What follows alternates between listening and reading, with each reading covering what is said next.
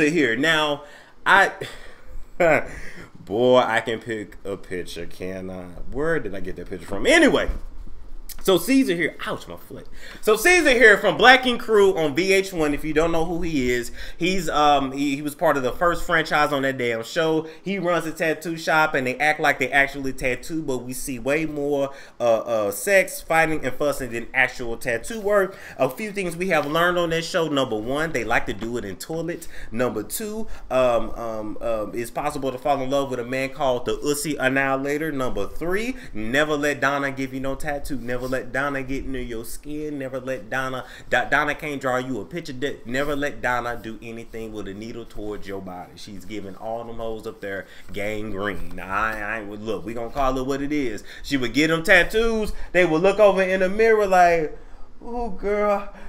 Oh, thank you, girl. I love it. And it's just a big blotch of black on the skin. It's just like you gave this girl gangrene. This girl gonna have to amputate that damn leg. But she, I'm sure by now her her her artwork looks a little more you know, realistic and a little less jailbirdish. All right, moving right along from that. The story is about Caesar and his daughter Cheyenne. His daughter Cheyenne is 16 years old. We have seen her mentioned on Black Ink Show a few times throughout the seasons, and honestly, she had been portrayed as a brat. She has been portrayed as a spoiled kid. All right, but we don't know if that's the complete truth because VH1 also tried to convince us that these people lived in empty apartments and empty houses.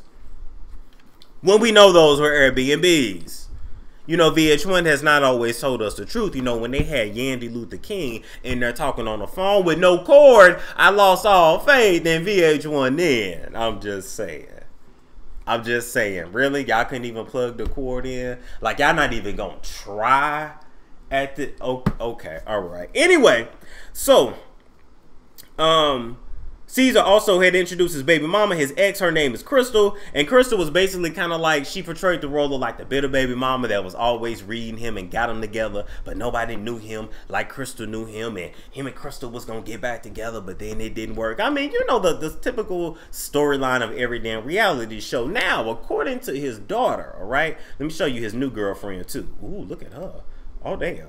Now she is fine. I don't know if she fine enough to be cussing out my child and talking to my child crazy, but she fine. She not, you know, uh, sever the relationship with my kid fine, but you know, fine enough to have on your arm. You know, he does keep a nice piece of arm candy. You know, the she she looks good. She got a Versace on. Um, if you guys go to her IG page, it's like I am I am dot see eyes or something like that. She's like a credit repair specialist and some other stuff, and uh, she got a she got a flat tummy, big breasts, and a big booty. So she looked just like the average woman down here in Atlanta. Um, but you know, she got the NutraBurst body, so whatever. Anyway, I say I'd say all of that. Boy, he know he been trying to replace Dutchess ever.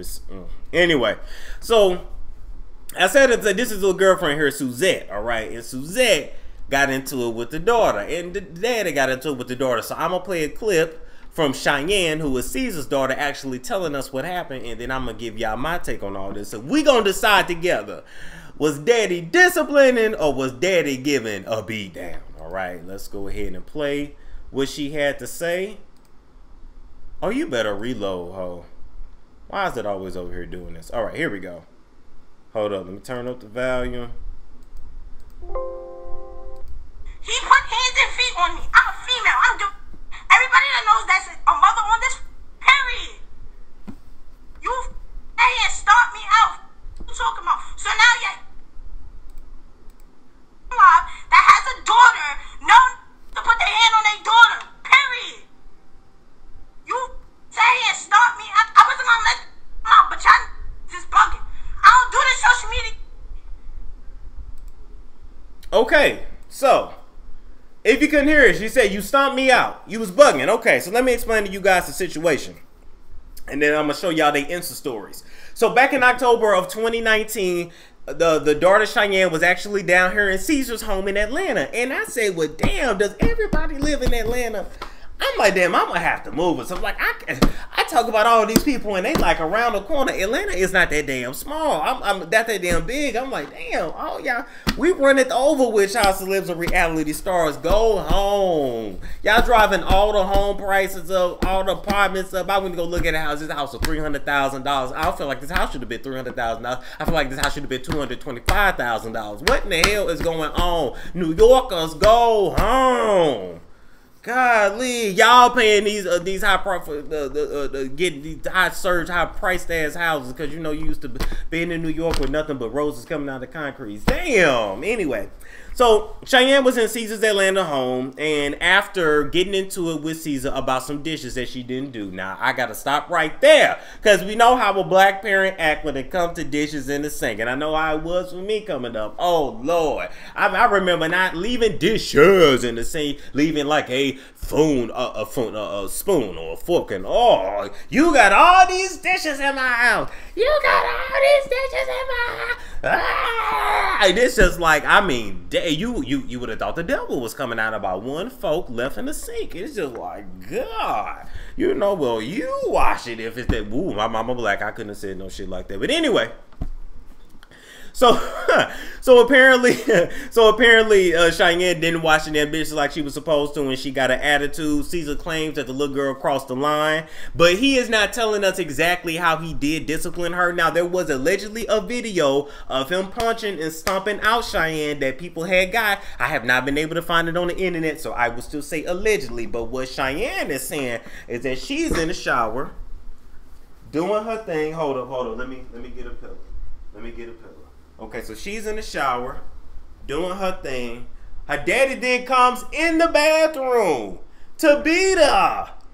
You told Hobbo to beat me. He beat the baby while she was in the shower. Now I know a lot of y'all grew up getting them whoopings and then told to get in the tub, but maybe you got beat in the tub. Maybe y'all got beat running around the house. That ain't all that normal. That's a that you know that's abusive. You you are abused. I got a good I got a good number for a therapist if you need it. But what she's saying is he came in there, grabbed her, pull, pulled her out, bah, bah, bah, just just then, he threw it down and started stomping her. Bah, bah, bah. That's what she claims happened. Now, no word on if she fought back or not. I hope she at least protected her face, you know. After this happened, she went back home to live with her mom. According to her mom, she wasn't being fed down there. And there was just a whole lot of ish going on. And I just got to ask you guys, is this discipline or is it abuse? Caesar said he did nothing but discipline his daughter.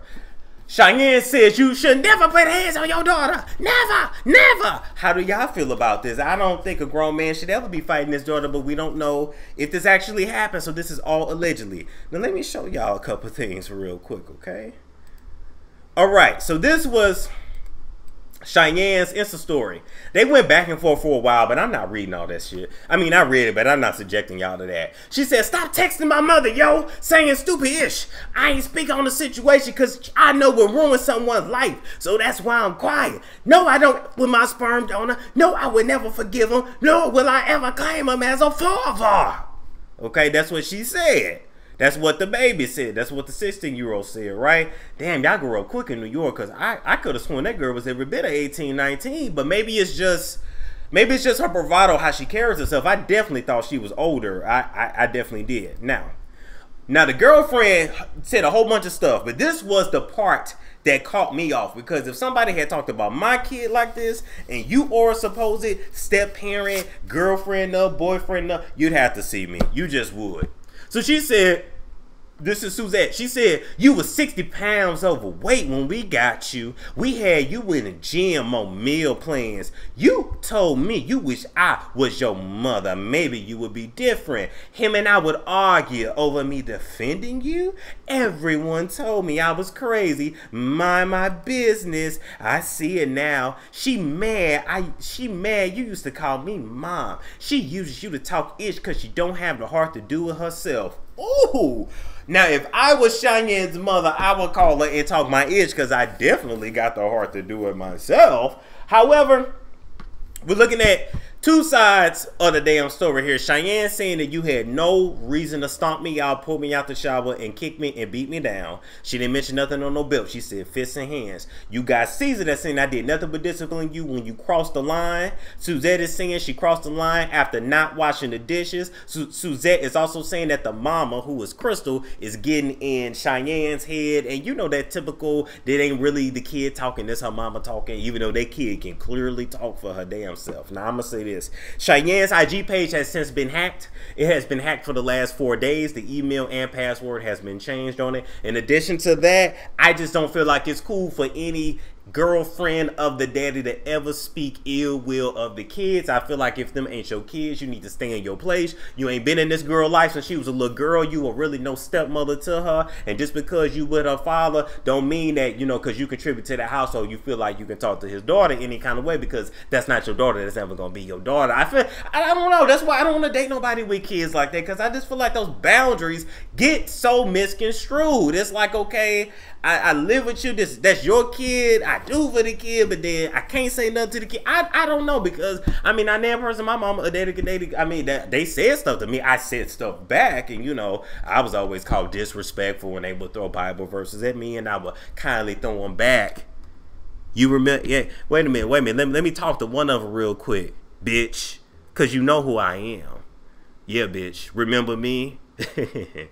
Didn't I tell you about my old man? I was right, wasn't I?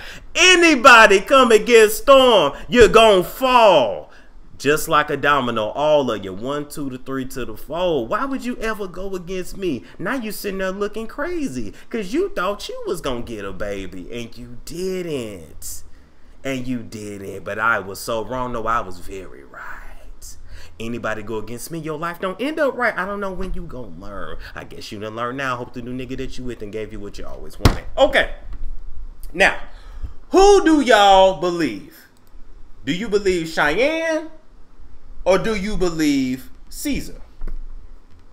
You tell me who you believe. Cheyenne, thank thank you guys for donations. Do you believe Cheyenne or do you believe Caesar? I want to know. Now I gotta wait for this damn chat here to build up. I gotta wait for the chat here to build up. Uh, who are you to say he did that to his daughter? I said allegedly. That's what she. That's what she alleged. Uh, let's see. I ain't heard. You gotta see me. she don't have to be there to know what's going on. Girlfriend being extra. Let's see. Still look like he got a lot of. Oh no, I didn't. I didn't at all it was definitely more verbal torture, the mental torture than anything else. Spill that tea? No, I'm not spilling that tea. I'm not giving them people no props. They shitty lives is is proof enough. I'm just I'm I'm gonna say this on the camera because I want you guys to know this, right? And I'm not saying this for any reason. It just so happens that anybody that go against me, they struggle. They go through a lot. They lose people. It just be bad and I just be like, you might just want to leave me alone. Like I, I don't know what else to tell them. Any police reports? Nope. No CPS, no police reports, none of that. She just went back home. She just went back home. To me, I could have actually been on the girlfriend's side until she brought up that girl weight. I said, well, now you didn't have to spill that. You, you, didn't, you didn't have to do that. Maybe I'm just a little fat sensitive over here, but damn, you ain't have to put a business out there like that. How old is his daughter? 16. She's 16, which is 25 in New York years. Y'all grow up quick. We know that. Talk to people instead of jumping violent all the time. I believe so. Look, here's my thing, right? I think that in 2020, it's it's a new day. And I feel like back in the day, a kid like Cheyenne would have got whooped and beat all the time with the kind of mouth that she have. However, I don't think that is necessarily healthy. Whether it went down or not, I'm just saying hypothetically. I think that we should allow children to express themselves, to tell us what's on their mind. But there is a thin line between speaking your mind and disrespect. It is. And it's usually all in how you say something, right? That's what I was always told. Because apparently, you know, people say I'm sassy. People say I got attitudes Allegedly, okay. I don't know. You tell me. I feel like I'm the nicest person in the world. But that's just me. So there's there's a thin line between it because you people got to understand, right? If you teach your kids that anytime somebody disrespects you, you can lay hands on them, then they take that out on the streets. If you teach your kids that you can never stand up to any kind of authority figure, but then you just raising kids that's gonna get ran over, in my opinion, or you raising bullies. I don't know. I look at the '70s and '80s babies, and I'm just like, okay, y'all got the y'all got the head the black beat off of you, and y'all ain't really like y'all got a lot of mental issues. Now y'all got the most. Now the '70s, '80s babies, '60s babies got the most common sense. Common sense was lost with the '90s babies going forward. However, y'all got a lot of mental issues from that ish. So was it worth it? I don't know. I think we need balance. I and we need balance between the belt, the the the the, the belt in, in, in the in the mouth. Like just just kind of balance it. But I still ain't heard nobody talk belt. I'm hearing stomping and punching. Okay, I hope he didn't do that either. Uh, let's see. How was that man going to pull his grown naked daughter uh, out of? That's what I'm saying. That's nasty. If it happened allegedly, all you got to do is take her phone. That's worse than a whooping. You hear me? They whole life. They act like they whole life be over without their phone. Um. Okay. Let's see. What else? She is spoiled, but he should not have done her like that. Okay. Okay. I love you. Oh, I love you too. Uh, okay, y'all saying y'all believe the daughter pretty much. Y'all saying y'all believe the daughter. Sabrina said you putting the spells on them. I didn't say nothing. I didn't do nothing to nobody. I don't know what you're talking about. Now, moving along from that, I will say this just to end this story. I think that this is an example of a father who he been grinding for a long time. He had it at an early age, and he was gone all the time. Think about it. He he ain't with the mama no more, right? Ain't been with her in years. And he had to work. If you're an entrepreneur, you know you putting in 12 to 16 hours a day. He wasn't at home like that. And so he tried to substitute that time spent with Cheyenne with gifts. Okay, that hurt her as she grew up because really she wanted his time more than any monetary gift that he could give her. He feels like she's a spoiled brat for everything that he does for, and she's not uh, um, thankful for it. And it's just it's just it's just a mix of the two. He really should have nipped her mouth, and a mother should have nipped that mouth in the bud years ago. But since they didn't, now you got to deal with this at 16. I don't really think it's changing now because her personality is pretty much already set in stone. So good luck. This is the beast that you created.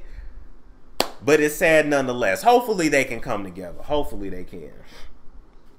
Hopefully they can. All right. Let me take them down. Let me take them down. Gonna play a commercial. We'll be right back to answer questions, comments, and concerns. Have you ever wondered how the rich keep getting richer? They learn to leverage money and pass the knowledge down to their children to create generational wealth. If you're not trading, you may miss your family's wealth opportunity. Epic has removed the learning curve and are putting thousands of people into profits daily. Results will vary, but you now have an opportunity to earn while you learn from millionaire traders who can put you on the fast path to Forex trading success. Copy and paste live trade alerts that will be sent to your cell phone each day.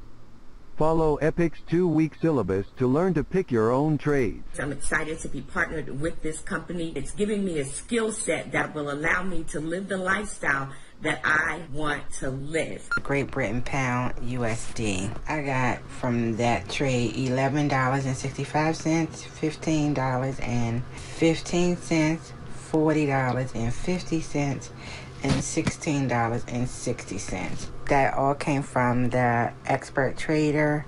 Join Epic today. Visit www.epictraders.live. Okay. All right, people. And it what? 4600. Okay, we topped out at 46 almost 4700. That's what I'm talking about. Okay.